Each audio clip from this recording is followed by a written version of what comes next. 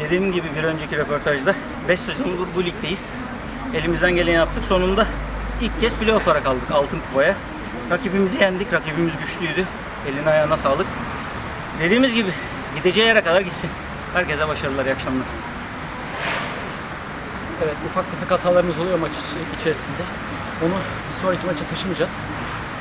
Daha böyle kolektif futbol sergileyeceğiz bundan sonra da. Ee, kazandığımız maçı da çok sevdiğim arkadaşlarıma onlara armağan ediyorum. Selamlar.